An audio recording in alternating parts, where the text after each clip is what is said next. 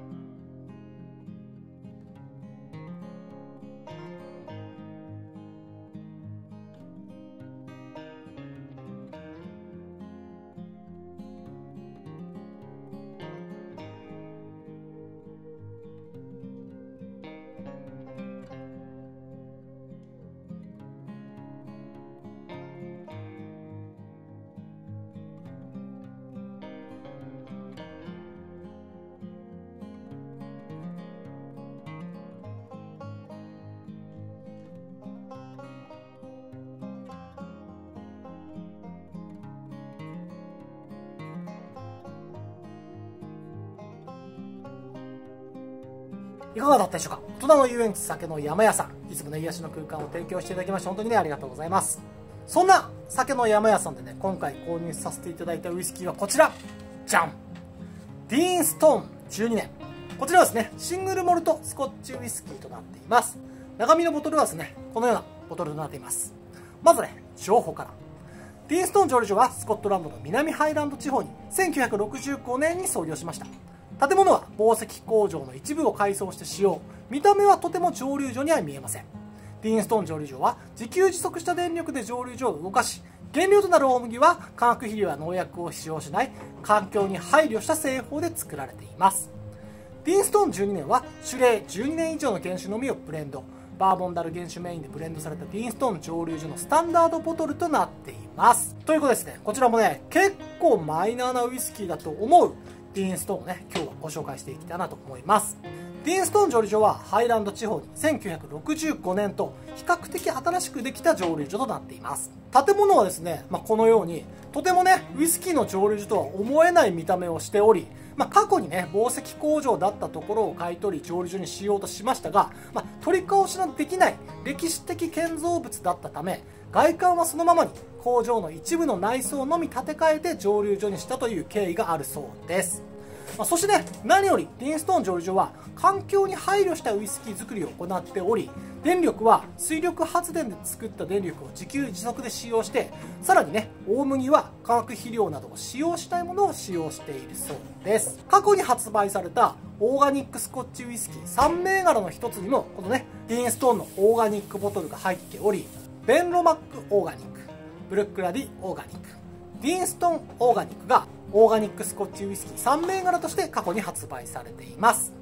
まあ、ディーンストーンの特徴は他にも基本的にはねノンピート麦芽を使用したスモーキーさはほとんどないウイスキーを作っているそうですディーンストーンのラインナップは現在ディーンストーンバージンオークディーンストーン12年ディーンストーン18年などの通常ラインナップに加えディーンストーンオロロソカスクディーンストーンマスカットフィニッシュなどの限定品ディーンストーンクロニカルシリーズエディション1などの蒸留所限定ボトルなど様々なボトルラインナップがあります。日本ではディーンストーンのバージンオーク12年18年など3本ぐらいがね多分通常に発売されているボトルだと思います。こちらですね先ほどの田舎の酒のやまやさんで購入させていただきました。価格は4000円容量は 700ml アルコール度数は46.3度となっています。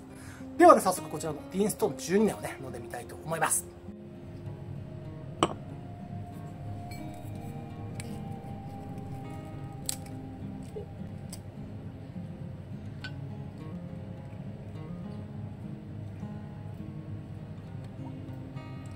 でですね、キャップはコルクキャップとなっています。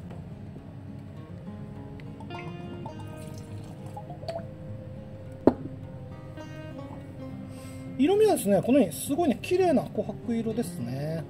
はい、ではね、早速香りから。おー、香りはですね、なんだろう、結構リンゴ系のフルーティーな香りと、あとね、麦芽のいい香り。そこにね、こう、うっすらと、ちょっとね、マスカットのような爽やかな香りもありますね。スモーキーさはね、ほとんどないと思います。ではね、早速いただきたいと思います。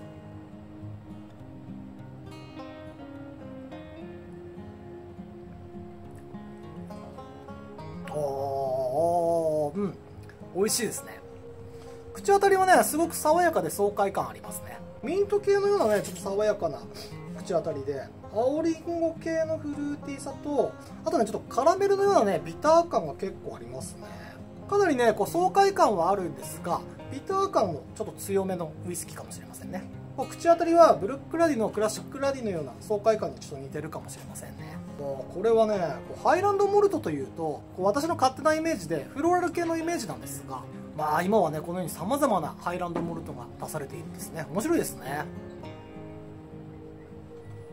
こちらのティーンストーン蒸留所は映画「天使の分け前」のロケ地として世界のウイスキー好きにはね知られているようです。私もねこの天使の分け前見たいんですけどまだ見れてないんですよね。まあ、映画の中にはスプリングバンク32年が出てきたりバルブレア蒸留所が出てきたりともうウイスキー好きにはねたまらない内容の映画となっているようですので、まあ、気になる方ぜひねこの「天使の分け前」っていう映画見てみてください、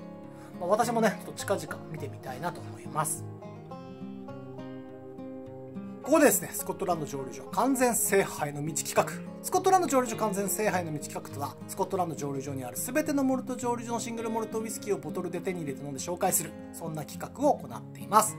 今回ご紹介したディーンストーン12年は、こちらのね、南ハイランド地方にあるディーンストーン蒸留所のシングルモルトウイスキーですので、こちらにね、積み印をしていきたいと思います。このようにですね、ディーンストーン蒸留所の隣に積み印が押されました。これでですね、残り43箇所の蒸留所のウイスキーを手に入れて飲んで紹介すれば完全制覇達成ということになります。まあ、まだまだね、ちょっと先は長いんですが、ゆっくりとね、完全制覇目指して頑張っていきたいと思います。ということです、